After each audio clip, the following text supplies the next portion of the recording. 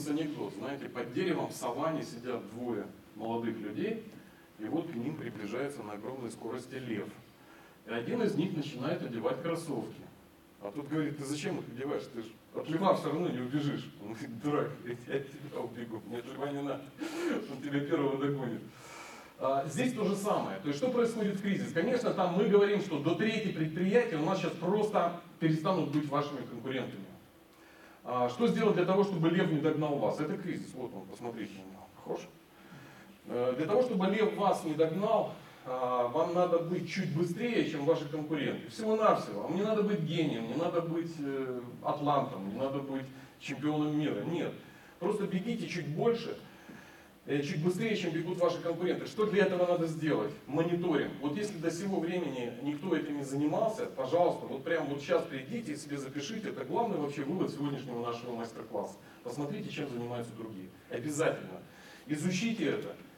Изучите, посмотрите, что они делают, посмотрите, что они делают не так, соберите отзывы какие-то, займитесь немножко промышленным шпионажем. Потому что вам трудно поднять телефон и позвонить э, в Райфайзенбанк, я не знаю, страховую компанию согласия. Здравствуйте. А почему у вас э, каска стоит дороже полтора раза, чем в Госстрахе? Можете мне ответить на вопрос? Кризис идет, конкуренция и так далее. Позвоните, сделайте это, поручите своим продажникам, поручите своим стратегам это сделать. Обзвоните конкурентам. Я вас уверяю, то новое, что вы узнаете, вас очень удивит. Потому что вам-то всего-навсего надо соседа обогнать, а не, а не льва. Кризис это лев, от него не убежишь. Итак, какие самые главные приоритеты практически для, в кризис? Первое – сохранение бизнеса. Самое главное – сохранить бизнес в каком-то виде. То есть здесь не до побед, здесь не до завоеваний. Здесь нужно сохранить бизнес, потому что сейчас нужно выжить. Если вы сохраните бизнес, то когда станет легче, когда придет вот это первый вздох облегчения, вы будете на плаву, э, вы победите всех. У вас будут заложены кардинальные возможности для существенного роста в будущем, когда закончится кризис. А он закончится. Кадры. Если мы сейчас с вами разберемся, вот у вас есть предприятие. Вот кто-то говорил, у меня 500 человек работает в предприятии. А вот прибыль предприятия делают люди. Ведь все равно э, бизнес это про деньги а деньги делают люди. Что такое сущность бизнеса, вот как в восточной философии? В восточной философии бизнес – это возможность доказать другому человеку, что деньги в его кармане – это мои деньги. Твои деньги – это мои деньги. Он должен сам это решение принять. И это решение должно быть единственно верным для вас. Поэтому, э, если в вашем бизнесе ключевую роль играют люди, а не вы сами, вы должны бороться за удержание тех кадров, которые приносят вам прибыль. И я вас уверяю, это не замок генеральных директоров, не коммерческие, это не топ-менеджмент. Мы поговорим, как этот закон работает, от кого первых надо избавляться. Почему? Потому что я знаю, что очень многих российских предприятий, вообще структуры, совокупная доля затрат на содержание персонала, она существенная. И если нам с вами надо подготовиться к 2016 году для того, чтобы не умереть и найти эти 20% где-то, мы их должны откопать. Кстати, нам надо найти 30%. 20% мы хотим найти, если мы уверены в себе, в своих силах, просто мы хотим выжить. Вообще надо 30, потому что остальные будут искать 20, и они умрут, их лев догонит, а вас нет. Маркетинг, поиск смыслов. А если мы до сих пор продавали свой товар по такой схеме, что мы хотим продать вот это, а покупатель смотрит, о, а он не знает, что то есть, а он видит, что вот это, то это тоже не работает. Нужно искать смысл в своих продуктах. Нужно искать то, как вы хотите донести. А, посредством чего? Посредством выступления, вот консалтинговые компании, здесь очень много, да, посредством чего? Личных переговоров, каких-то связей, уже настроенных э, каналов э, или личных отношений руководителя. Какая правильная организация? Правильная организация так, когда руководитель уезжает в отпуск на 2-3 недели, он может с собой мобильник не брать. Вот это правильная организация. Когда от него э, как бы ничего не зависит. Знаете, когда в свое время я проходил учебу в Стэнфордском университете, а, на первой же лекции вышел профессор и спросил, поднимите руки, кто здесь преподаватель, это была бизнес-школа, кто здесь предприниматель. Большая часть зала подняла. А теперь скажите, вот вы сейчас уехали сюда учиться из своих стран, из разных, э, у кого бизнес продолжает работать так же интенсивно, как будто вы, вы там находитесь, половина зала подняла. А теперь говорит, скажите, а если вы два года не вернетесь туда, он там останется еще жить?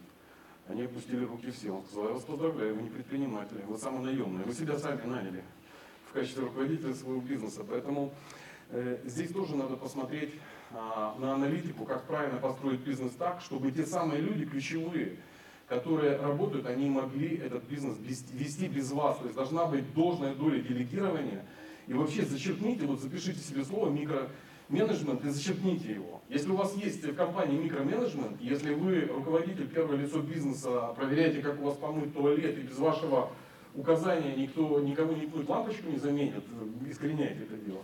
Найдите себе в ближайшем окружении человека, которому возьмите, делегируйте все вот это, чтобы оно вас не заботило. Закупки. А, значит, нам надо идти туда, где дешевле.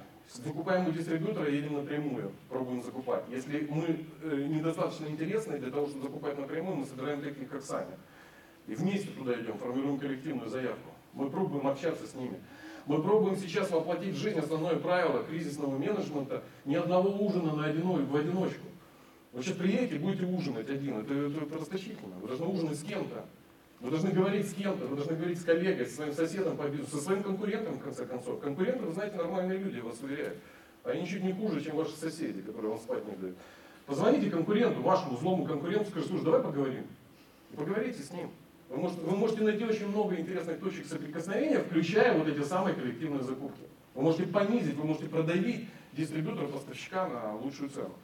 Импортозамещение. Если вы считаете, что в России ничего не производят, вы зря так думаете, ошибаетесь. В России очень много чего производит, вы просто не знаете об этом, поищите.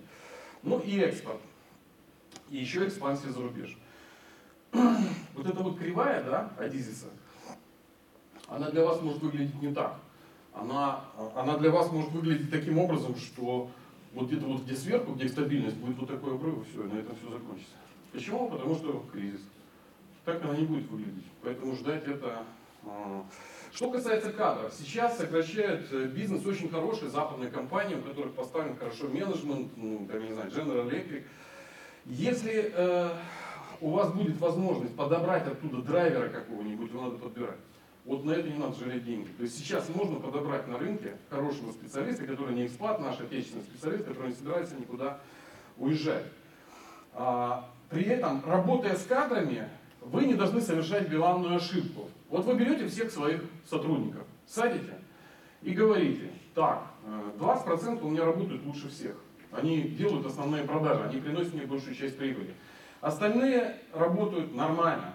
Но вот по центру сидит этот разгильдяй, и как раз 20% во всех компаниях это закон, которого я уволю. Почему? Потому что кризис, потому что я должен 20% издержек где-то найти, чтобы сэкономить, и я его уволю. Неправильно.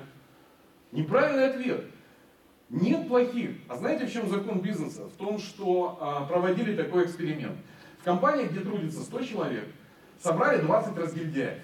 По разговорам с другими, по, вообще по количеству выкуренных сигарет в рабочее время, по количеству часов, проведенных в кафе. Я вот работал в Газпромнефти, там у нас кафе есть. И никто не спрашивает, там нет никакого турникета. Садишься в кафе и сидишь, пьешь кофе. Час пьешь, два пьешь, тебя нет на рабочем месте. Вот собрали вот таких 20% людей, которые являются, ну, в общем-то, отстоем, тормозом, и просто вот реально просто вот тратят деньги владельцев. И взяли их, выгнали. Остали 80 самых, и вот это вот, вот те 20% издержек сократили. Знаете, что произошло? Через некоторое время, месяц-два, из этих 80 выделилось 16, которые заняли нишу курильщиков, сидельщиков в кафе, разговоров о футболе и на всякие прочие темы, которые занимались своими личными делами в рабочее время и так далее. Вопрос, почему они раньше не занимались? А эти ниши были заняты. Почему он раньше не сидел в кафе и не обсуждал э, чемпионат мира по футболу? Потому что там сидел Саша, который лучше его в этом разбирается, ему там просто не вякнуть при нем было. А сейчас Саша не стал, он думает, а я-то тоже неплохо в этом разбираюсь, дай-ка я сяду в кафе и поговорю на эту тему. Ну, это, конечно, утрированно я говорю, но этот закон работает. Если вы начнете сокращать свой персонал с тех, которые кажутся вам наименее опытными, а, с людьми с наименьшими компетенциями, разгильдяями так называемыми. Вот разгильдяи, вот, вот это кто? Это разгильдяй. Вы поступаете неправильно. С чего надо начинать сокращение? Стоп-менеджмента. Кризис. Ваша компания в тяжелом положении. Кто виноват? Разгильдяй? Он управляет компанией. Да он там в туалете управляет, в курилке там, футбольными матчами. Компания он не управляет. Поэтому выгонять надо топ-менеджмент. Почему? Потому что получают они вот столько. Ну что, ну кто работает в крупных компаниях? Ну где там оклады полтора миллиона рублей?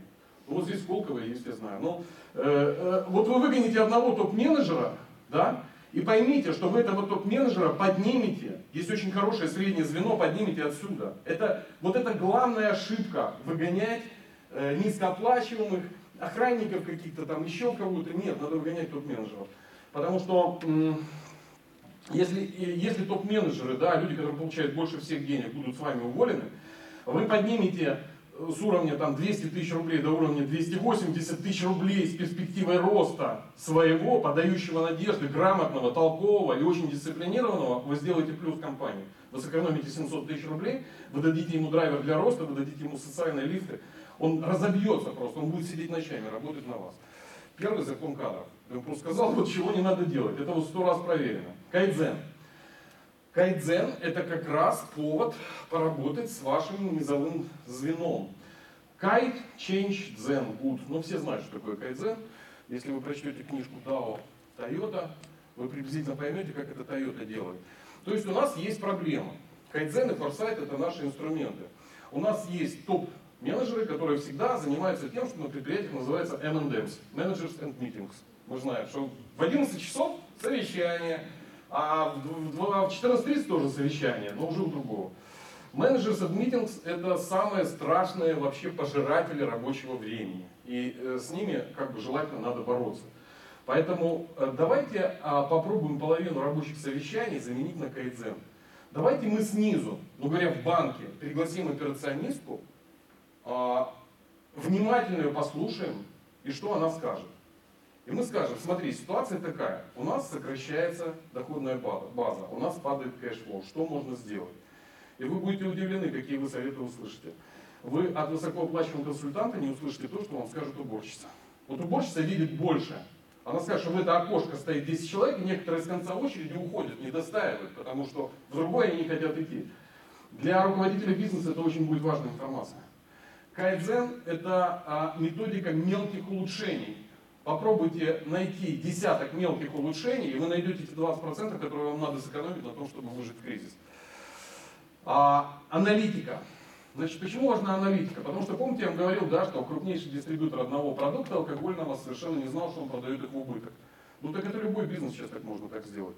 Идите купите на, рынку, на рынке стоковые товары, продавайте его на 20% меньше, к вам запишется очередь через какое-то время. Когда люди узнают, что у вас столько товаров, он к вам запишется. Но потом вы разоритесь. Поэтому аналитика нужна. Форсайт для чего нужен? Форсайт нужен для того, что вы должны перейти на планирование, трехмесячное планирование. Если у вас вообще есть планирование на предприятии, и вы его всегда рассчитывали как годовое, полугодовое, забудьте про это. У вас теперь планирование должно быть трехмесячное. Каждые три месяца у вас план должен быть на три месяца. Через три месяца, не через три месяца, каждый месяц вы встречаетесь и делаете вот эту систему предиктор-корректор. То есть вы планировали, что будет вот так, прошло 30 дней, так или не так. А если не так, то куда оно идет, сюда или сюда? Чтобы вы не рисовали вот эти вот J-curve, вы пришли, вам, вам надо вот эту клюшки рисовать, да, вот эти вот J-curve. Вы знаете, один экономист по, по, посчитал, что если бы вот эти J-curve все сбывались, вот эти вот э, гиперболы, параболы роста, то мы бы жили вообще уже просто в идеальном сообществе, никому работать не надо было бы. Но они, к сожалению, не сбываются. Оптимизация минимум 20%. Отдел продаж. Если у вас есть отдел продаж, вы вообще вдумайтесь, есть скрипты или нет. Первое. Второе. Задайтесь лично, как владелец бизнеса, вопросом, кто у вас продает. Я вас уверяю, что вы будете очень удивлены, когда вы узнаете, что в вашем отделе продаж все продажи делает два человека. Остальные 20, они продают, да. Но вот, вот эти два человека продают. И еще вы больше удивитесь, когда вы послушаете записи, а записи у нас запишутся в отделе продаж, записи разговоров этих людей, и вы поймете, что ничего особенного они не делают. А знаете, что они делают? Они делают все правильно. То есть у них нет здесь лишних, э, личных эмоций, у них нет лени, у них нет еще чего-то. Вот эти самые лучшие ваши продажники делают все правильно. И какие вы выводы сделаете? Кого надо сокращать? Либо кого надо учить? Э, это когда жирное время вы можете пренебречь отделом продажам, скриптами, э, маркетингом.